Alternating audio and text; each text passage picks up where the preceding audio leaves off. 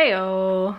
There we go. Hi. Well, hello everybody and welcome back to my channel. This is gonna be a bonus video this week because I'm not sure if you guys are interested in hauls of food. So I just went to Aldi and I figured I would show you what I got for, well, it's definitely more groceries than I would normally buy in one week. So there are a bunch of things that will carry over into the next week for like my lunches and a little bit of dinners and stuff too. So I'm gonna turn you guys around and I'm gonna show you what I got at Aldi. All right, so let's just go from here over. Um, you might see some other things in here that are not related, but we're gonna go with it, guys. All right, so I got four yogurts. Um, these are just the strawberry yogurts. I really like these. Um, I've had them before and they're really good.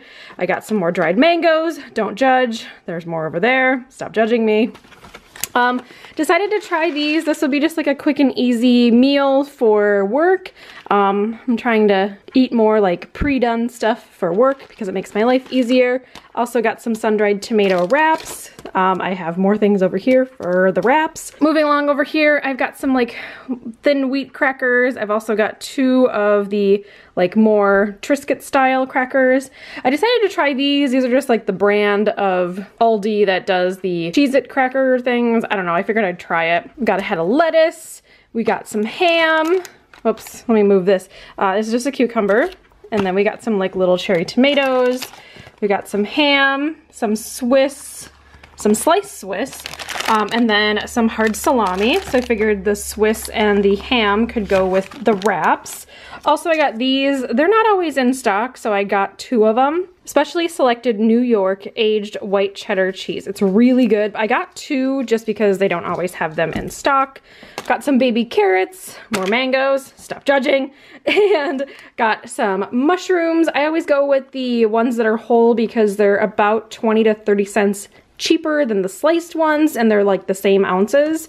And then got some zucchini, also got some spicy mustard, got some bread, and I was out of Coke. And I have one of these a day. Sometimes I don't have any a day, but that is what I got from Aldi. And here is my receipt, and I paid a total of $71.19 for all of that goodness. So I hope you guys enjoyed this quick little haul. Um, I really enjoy shopping at Aldi now. Um, I typically do the bulk of my shopping there. If for some reason I'm looking for a specific brand of something, I will go to a regular local grocery store or I'll stop at the, my local Target and pick something up.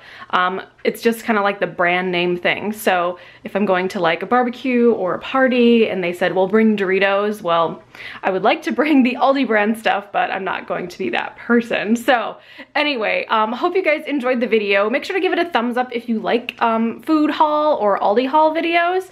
Um, it might be more of a regular thing on my channel if you guys kind of like it. And make sure to subscribe. I'm here every Monday, Wednesday, and Friday, and every once in a while I have these fun little bonus videos for you guys. And speaking of bonus videos, I think I've done a bonus video like every single week since the beginning of the year maybe. Yeah, I think it's becoming a regular thing. But anyway, I hope you guys are having a wonderful day. Thank you so much for watching and I will see you all in my next video. Bye guys!